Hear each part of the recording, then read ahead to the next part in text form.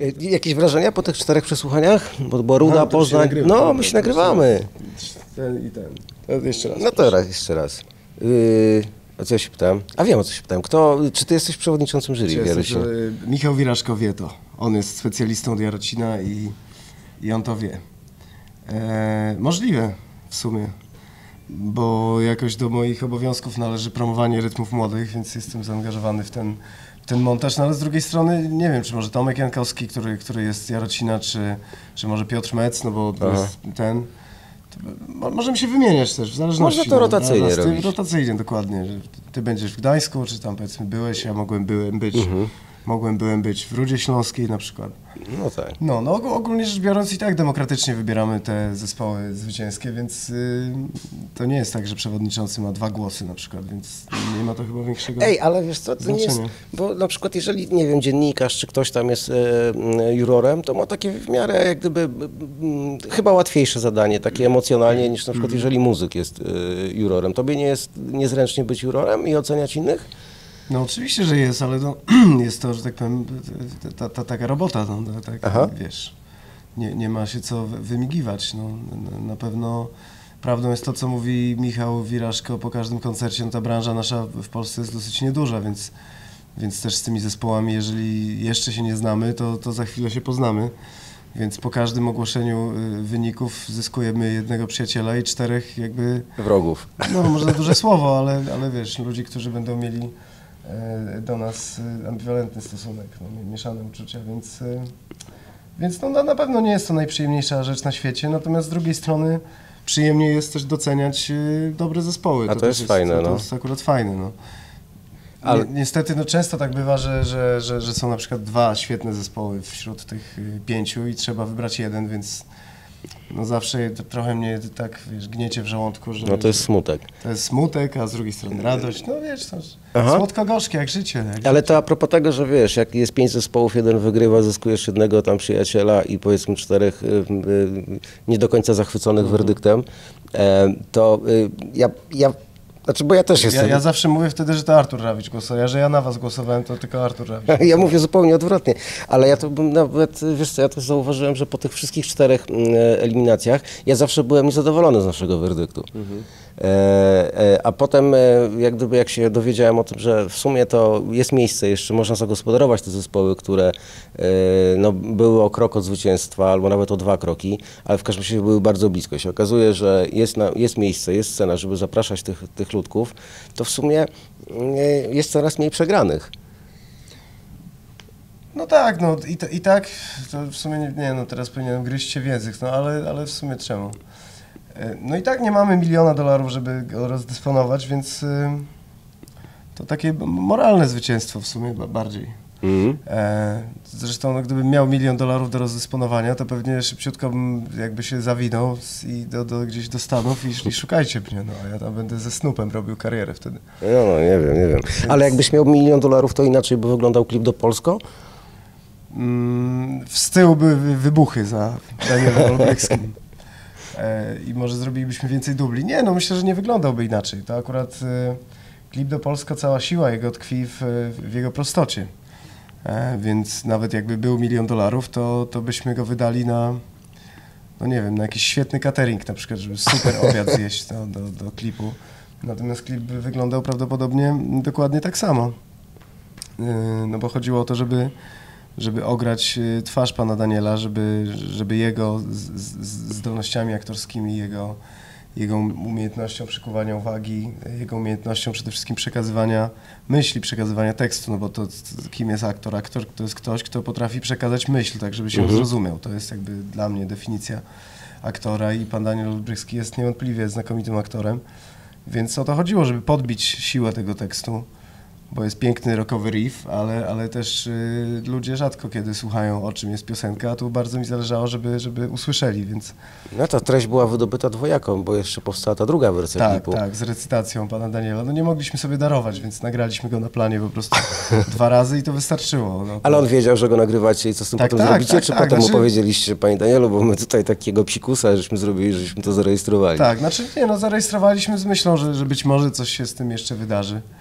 E, Pan Daniel mówił, że nie ma sprawy, zakład świadczy usługi, więc y, Więc Naprawdę był taki karny na planie i po prostu zawodowo przyszedł tak, i zawodowo słuchajcie, przyszedł, tak. No, może, może jakby e, ta, ta linia, którą tam wymyśliłem w piosence, e, ona jest taka troszeczkę w, w poprzek rytmowi e, i komuś, kto nie zajmuje się śpiewaniem rock'n'rolla na co dzień, częstokroć trudno jest wbić się Mhm. dokładnie w, e, jakby w synchron.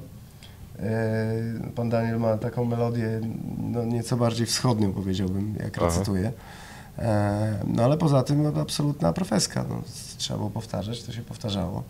Trzeba było się rozbierać, to się, to się Aha. rozbierał. No ja żałowałem, że się nie zdjął jeszcze koszuli, żeby te ryby sine. Ciekaw jestem, czy mu jeszcze nie czy zeszły. jeszcze są. Ale już wtedy były sine bardzo, więc No, dziś, no tak, dzisiaj a to było, umówmy się, trzy tygodnie temu, No tak, to albo i przez trzy więcej. tygodnie to może się dużo tak, tak, tak. no. Ale to, to był twój pomysł na klip, czy skąd ci Nie, się to to był, to, był, to był pomysł... Bo te twoje klipy to w ogóle porażają. Znaczy nie chcę ci no, słodzić Dziękuję, ale to, niepotrzebnie, wiesz, ale to ja mam to po w ogóle... prostu szczęście do, do, do, do znajdowania sobie świetnych współpracowników. To akurat był pomysł e, menadżerki e, mojej, e, ge- ge- genialny. No kiedyś po prostu spotkaliśmy w jakiejś takiej to- towarzyskiej, nazwijmy to, sytuacji pana Daniela i, i ona wpadła na pomysł, że łe, a gdyby, gdyby tak zrobić właśnie klip z nim do, do, do, do Polska, żeby tylko była jego twarz i żeby, żeby recytował. Więc to zupełnie jej pomysł. Tak samo zresztą pomysł z akupunkturą to, to też był jej pomysł, o ile się nie mylę. No a w Miłość, Miłość to, to, to już pomysł Piotra Onopy i, Mhm. i jakby no faktycznie jakaś wypadkowa dy- dyskusji naszych, o czym jest ta piosenka i tak dalej, więc też te swoje trzy grosze gdzieś tam dorzuciłem, no ale to, to on był odpowiedzialny za to, więc, y, więc tak jak mówię, no mam po prostu dużo, dużo szczęścia do, do dobrych ludzi wokół. No to trochę, trochę, trochę, trochę skromnie, bo to też zastanawiam się, co by było, gdybyś na przykład takie solo akty robił też, wiesz, e, jeśli chodzi o klipy, nie? Jakby, Mhm. jakby wtedy klipy wyglądały, gdyby znowu odsunąć wszystko na bok i zostawić tylko Zaleskiego samego sobie z kamerą i co by się stało, nie? No jeszcze chwilę, jeszcze dzień, no po, powolutku. Na, na razie Brodka wiedzie prym w tym, ona zaczęła reżyserować swoje klipy. E, I powiem Ci, że wow, iła, no. To, A? trochę, się, trochę, się, trochę się już zna na tym. Więc, y, więc powolutku, no. Jakby nie, nie, nie wszystko naraz. To jak szukamy źródeł pomysłu, to czyim pomysłem jest y, na przykład Niemen na y, Wiarocinie? Do, dobre pytanie, nie, nie, nie pamiętam, jakby nie, nie... Wydaje mi się, że to Michał Wiraszko wpadł na taki pomysł, ale głowy nie dam sobie Aha. uciąć. E, na pewno niezmiernie miłe było to co, to, co powiedział, że... Ale może, może też nie on, może to był pomysł, może to był pomysł y, jakby włodarzy Jarocina, Mhm. ponieważ teraz nadchodzi 30. rocznica e, koncertu jego z materiałem z płyty Terra de Florata, gdzie on właśnie solo akt taki odprawiał w, w Aha. Jarocinie. E, No i też no, publiczność jarocińska przyzwyczajona raczej do dynamicznych, punkowych rytmów, a tutaj wychodził z jakimiś takimi suitami, więc najpierw, najpierw była e, Konsternacja. konsternacja lekka, a potem jak to zwykle w Polsce bywa, było 100 lat i te wszystkie rzeczy. E, Więc być może to był pomysł włodarzy Jarocina, żeby jakoś nawiązać do tego koncertu. No tutaj wielką przyjemność sprawił mi Michał Wiraszko, e, jakby mówiąc, że jeżeli ktoś mógłby się zmierzyć z Niemenem, to ja. No fakt, że może on nie zna się jakby z... No, akurat takich wokalistów zna, w sensie mnie i, Aha. I, i, i, kogoś tam jeszcze. No. Kasi Nosowski by nie namówił do Niemena, no bo jest Kasią Nosowską, więc... No może. Em, no. No tak czy siak su- super miło, że... że, że, że A ty się wahałeś? Miałeś, nie, wiem, bałeś się? Znaczy nie, no Coś? boję się nadal, to ja się boję do tego stopnia, że rzuciłem szlugi tydzień temu, nie? Widzisz jak mnie nosi. No nie, widzę Nie mogę usiedzieć nawet, nie? Po 16 latach jarania po prostu absolutnie zawodowego, wiesz, paczki dziennie. Nagle się okazało na próbach, że, że tam wysokie S, już nawet nie C, bo wysokie C to jakby na co dzień śpiewam w zespole Zaleski, a u Niemena trzeba wysokie S zaśpiewać. Em, I jeszcze wchodzi w poniedziałek, a po trzech dniach prób w czwartek już trochę nie wchodzi, więc już robię rozśpiewki, już się staram dobrze odżywiać, już e, no tam różne rzeczy rzuciłem, które mogą, mogą że tak powiem, szkodzić przeszkadzać gardło, w S. w S, więc, więc ostatnia rzecz jakby do pokonania, no to stwierdziłem, że jeszcze może, może rzucę fajki, to jeszcze będę miał te pół tonu więcej. Ty, ale to w zasadzie to... No i się morduję dla, dla Niemena właśnie, taki mam szacunek do artysty, że, że aż się pozbawiam nałogów. Ale to starasz się nie palić dzięki Niemenowi, czy na przykład jest jeszcze jakaś formacja, która ci w tym pomogła? Yy, Jest formacja, tak, owszem, jakie tutaj dziennikarsko po- podejście ładne. Owszem, tak, no, wczoraj grałem w, w Krakowie w Tauron Arenie przed Linkin Park. To wiecie, kiedy to nagrywamy. Yy, No, dokładnie. no też nie, niezłe doświadczenie, bo tak byłem przygotowany na to, to też byłem na wielu koncertach takich stadionowych, to zawsze support się raczej tak trochę olewuje. I, tak i nie. A tutaj chyba czasy się zmieniły, bo wyszliśmy, a tam było to pełna hala z 10 koła ludzi, nie? więc naprawdę no do tej pory jeszcze może częściowo to jest brak y, nikotyny we krwi, a może, może jeszcze emocje wczorajsze nie chcą ze mnie zejść. Natomiast tydzień temu dostałem maila od y, managementu, dostaliśmy wszyscy maila od managementu Linking Park, że oni są absolutnymi przeciwnikami palenia i nigdzie na obiekcie, a to olbrzymi obiekt Tauron Arena w Krakowie, nie można palić papierosów, więc stwierdziłem, że jak mam się mordować jeszcze ten Niemen po drodze, no to jest dobry moment, żeby, żeby rzucić, więc, więc póki co moją walkę, że tak powiem, z nikotynizmem Aha. zawdzięczam Czesławowi Niemenowi, który wysokie S jakby bez mrugnięcia okiem, bez kropli potu był w stanie wyciągnąć oraz no, zupełnie z innej bajki muzycznej z połowy Linking Park, który nie wiedzieć czemu jakby też nie lubi papierosów. Mm. A ty powiedz jeszcze raz Czesław. Czesław. Czesław, pięknie. Tak, no E, właśnie to też jest kolejna rzecz, że muszę się oduczyć do koncertu śpiewania tego L, Mhm. bo jakoś to mi tak no, wchodzi, a potem, się, a potem, a potem wychodzi na, na to, że po prostu udaje niemena albo wręcz kpiarsko podchodzę do tematu, co jest absolutnie najodleglejsze od prawdy, bo ja z wielkim szacunkiem do, do tego artysty podchodzę. Zresztą e, bardzo się cieszę, że doszło do, do, do tego koncertu, gdyż e, dzięki temu mogłem poznać Niemena tak naprawdę, bo wszyscy jako Polacy się szczycimy, że oczywiście No tak, że- Chopin, jakżeż go nie słuchać i Niemen i tak dalej, a Guzik znamy, Chopina to nie wiem, no ale, ale Niemena Guzik znamy, to jestem pewien, bo, bo ja się sam y, głosiłem jakby y, znawcą Niemena, okazało się, że nie znam 20% nawet Niemena, dopiero teraz musiałem wejść głęboko i naprawdę no kawał artysty, to, to, to, to naprawdę kawał artysty. No on miał też takie radykalne podejścia w ogóle do, do, do twórczości. Gdzieś pamiętam sobie wyczytałem, że w momencie, kiedy on siadał, zabierał się za tworzenie nowego materiału, to w- wcześniej, nawet pół roku wcześniej, zakładał sobie taką, o widzisz, też się poświęcał dla muzyki, bo zakładał sobie taką kwarantannę muzyczną. Nie, nie słuchał niczego, wyłączał radio, nie słuchał muzyki żadnej, absolutnie nic. Unikał miejsc, w których jest grana, w stylu jakaś kawiarnia czy coś, się po nie- to, żeby tam się nic nie odkładało w głowie, nie? To samo słyszałem o Kingu Diamondzie. Popatrz, gdzie go to zaprowadziło, nie? Na cmentarz. No tak. E, ale on żyje, nie? Tak- Nie, żyje, żyje, żyje. No, cmentarz był dwa lata. na, na no, scenie. w sensie scenicznie, tak. tak, oczywiście. No dobra, a ty masz, jak- jaki masz, znaczy jak chcesz się w ogóle, jak chcesz ugryźć ten temat? Nie no, myśmy już go ugryźli nawet, bo mamy, mamy znakomity, znakomity zespół. E, przewodnicze, że tak powiem, zespołowi wraz z Jurkiem Zagórskim, e, gitarzystą od e, Natalii Przybysz. Świetnie się rozumiemy i no, postanowiliśmy, postanowiliśmy na tym koncercie tak pół na pół podejść do Niemena, czyli połowę piosenek gramy starych, big beatowych, takich może nieco bardziej znanych, a połowę wyciągnęliśmy zupełnie zapomnianych i wyciągnęliśmy je z tych, z tych aranży oryginalnych, dosyć nieprzystępnych jak na no i nasze możliwości sceniczne, jak na, nie wiem, no dzisiejsze powiedzmy, e, dzisiejsze czasy, dzisiejsze style muzyczne. No i też chodziło nam o to, żeby, żeby koncert miał jakiś jeden wspólny mianownik, żeby nie było tak, że nagle gramy big beat, a później gramy jakieś takie impresje muzyczne, y, powiedzmy z przełomu lat 80., 90. y, na barwach właśnie tam, z, z tamtego okresu. Em, więc z tymi nowymi, nazwijmy to, numerami mieliśmy lekką zagwozdkę, no ale, ale, ale też no nie, nie wymyślaliśmy nic na siłę, tylko wyciągaliśmy melodię, tekst oczywiście oryginalną, a później szukałem jakiegoś, nie wiem, jednego riffu, który przypadkiem nie wiem, gdzieś zaśpiewał albo zagrał i na podstawie tego budowaliśmy całą, całą strukturę piosenki od, od nowa.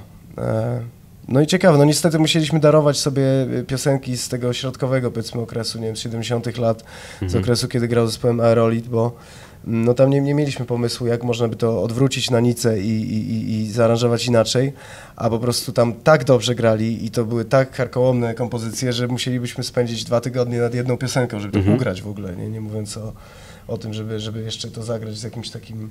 Ty, a jak ty się tak wgryzasz w, w, w architekturę, y, jaką tam stworzył Niemen y, w tym wszystkim, to, e, to masz tak jak już z bliska tam od, od podszewki, jak to, jak, jak to poznajesz, to zauważyłeś, znalazłeś tam jakieś rzeczy, które absolutnie zaskoczyły, że na przykład nie spodziewałeś się e, coś takiego znaleźć u, Nieme, u Niemena, albo że, nie wiem, nagle ci go przesuwa, y, postrzeganie Niemena ci się jakoś zmieniło, że to... No zdecydowanie, tak, bo, no bo tak jak mówię, głównie znałem jego przeboje, a tu na przykład E, polecam bardzo serdecznie nagranie na YouTubie jest chyba z Sopotu z 74 bodaj roku. To Mhm. też się pokazuje, że niby komuna było, było strasznie źle, ale jak jednak e, Sopot, popularny festiwal muzyki popularnej, jak wyglądał wtedy, jak wygląda dziś. No, Tam nie wiem, chyba już nie ma Sopotu, no ale jest Opole, chociaż też już Kielce są, nawet nie ma No, Opola. no tak.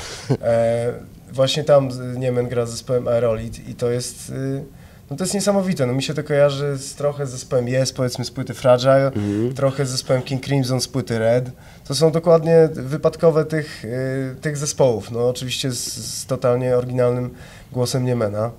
E, No a z drugiej strony są te późne płyty typu właśnie Terra de Florata, czy Spod chmury kapelusza, czy Idefix, em, gdzie Niemen poszukuje tymi barwami takimi, no może niezbyt em, szczęśliwymi, nazwijmy to, Aha. niezbyt fortunnymi, no bo to takie były czasy. Frank Zappa też nagrał płytę Jazz from Hell, absolutnie wielki artysta, też stał się ofiarą jakby tamtych brzmień.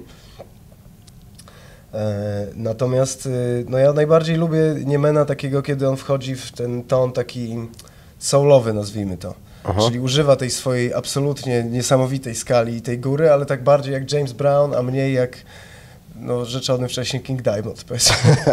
No, E, Najbardziej dobre. lubię tak, właśnie kiedy, kiedy, kiedy, no chociażby piosenka, nie wiem, Dolo nie Dola na przykład jest taka piosenka, gdzie on, no jest w tym taki właśnie soulowy sznyt, taki nienapięty zupełnie, nie, nie, z, nie z, że tak powiem, z nogą na odsłuchu, nie w stylu Maidenów, tylko bardziej w stylu właśnie takiego soulu e, cz- czarnoskórego i to jest niesamowity Niemen. Przy okazji miałem okazję posłuchać e, Niemena w, e, po angielsku, jak śpiewał. No i to też jest jakaś absolutnie po prostu, to są plecy, kolana, nie wiem, no Aha. ten chłop mógł zakasować najlepszych Ale to- wokalistów. Kompletnie zwariowałeś na punkcie Niemena. Trosz, troszeczkę, no, no dla, no widzisz, że rzuciłem szlugi dla Niemena, no to już jak, co można jeszcze więcej zrobić? Po 16 latach 20 szlugów dziennie, ci co są dobrzy z matematyki, to niech policzą teraz, ile, ile przepuściłem przez płuca tych petów. No, I no. nagle przyszedł Czesław Niemen i powiedział, Nie pal. no, no piłeś, paliłeś, ochujałeś po talachu? No, taka słynna anegdota, więc tak, no ja absolutnie poważnie podchodzę do tego tematu. Poza tym wracając do zespołu, jaki mamy, mamy No. świetny zespół. E, na klawiszach gra Jarek Jóźwik, z którego możecie znać zespołu Wonky One. E, ja poznałem się z nim, kiedy graliśmy wspólnie w, w projekcie Nosowska Osiecka. Genialny pianista, świetny improwizator, olbrzymie poczucie humoru. E, Na instrumentach denty gra Tomasz Duda, wirtuos, który gra, no, w tej chwili musiał zrezygnować z kilku zespołów i gra tylko w 14 składach jednocześnie, więc jakby to już świadczy o tym, jak, jak, jak bardzo jest rozchwytywany. Em, Pat i Kuba Staruszkiewicz to jest nasza sekcja, e, sekcja e, rytmiczna, czyli sekcja rytmiczna wyjęta... Jednostka napędowa. Tak, tak, absolutnie genialna, no wyjęta żywcem z, z zespołu Marii Peszek. E, no i cóż, i, i ja gram na gitarze z Jurkiem Zagórskim, gramy we dwóch. Plus mamy najlepszy chórek na świecie i to tak mówię absolutnie bez, bez żenady. Myślę, że, że Niemen mógłby pozazdrościć takiego chórku, bo siostry Przybysz śpiewają w chórkach, więc e, no to dla mnie też jest poprzeczka podniesiona jakby już kolejne pół kilometra w górę, bo no, jakby mówię bez fałszywej skromności, one po prostu lepiej śpiewają ode mnie i to ja się od nich uczę, więc em, mając takie towarzystwo, no i tego jeszcze duch Niemena nad sobą, cały czas, wiesz, musisz te proste plecki takie trzymać i głowę troszeczkę, troszeczkę jakby wyżej, jakby cię ktoś tutaj tak ciągnął za, za czubek głowy. Ale jeżeli o, o, o całym tym przedsięwzięciu sobie myślimy jako o y, koncercie specjalnym, no bo jest to takie wydarzenie, którego się chyba nie da rady później powtórzyć z racji, nie wiem, kolizji w zobaczymy. kalendarzach i tak. No, na pewno nie będzie to łatwe, nie? Nie będzie łatwe, znaczy, no, zobaczymy jak nam pójdzie. No, no, naprawdę, mamy przede wszystkim.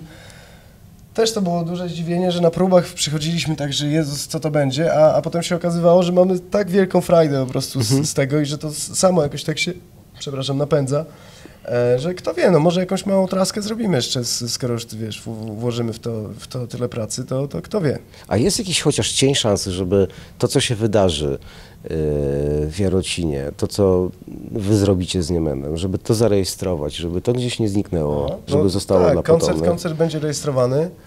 E, będzie rejestrowany koncert, plus y, nie wiem, czy wolno mi o tym mówić, czy nie wolno, to na wszelki wypadek powiem, Dobra. e, że jest taki plan, żeby jeszcze później zagrać chwilę później ten sam koncert w Trójce, więc tam też go zarejestrować i zobaczyć, która, że tak powiem, wersja będzie Aha. przyjaźniejsza i czy uda mi się wyciągnąć to wysokie S. Aha. No ale w razie czego już też mi koledzy podpowiadali, że żebym się może nie stresował tym wysokim S.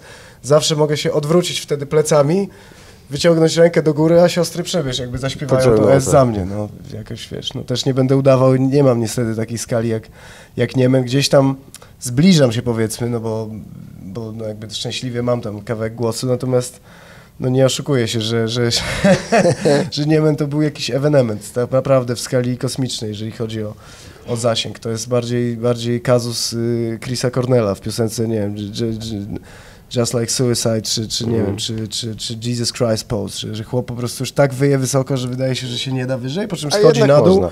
i jeszcze mruczy takim barytonem niemalże, nie? No ale też, też mówią niektórzy, że muzyka to nie sport, więc em, emocjami jakby będę starał się nadrabiać, bo, bo na szczęście ta muzyka poza tym elementem takim wyścigowym powiedzmy ma przede wszystkim ten, ten, ten element, że, że potrafi wzruszać, więc, więc na tym się będę skupiał. Coś ci powiem, tak, ale zupełnie szczerze. Zajebiście sam sobie zazdroszczę, że będę to widział. Oj, masz tatuaż Led Zeppelin, ale A śmiesznie. to jest backstage pass. O, fuck. Ale śmiesznie. Tak na wszelki wypadek, jakby się zeszli, żebyś nie coś się... Tak, od razu mam, nie? Dobra. Mogę robić. Widzimy się w Jarocinie. Do zobaczenia. A jak nie przyjedziecie, to jesteście frajerzy. O, o matko. No, no.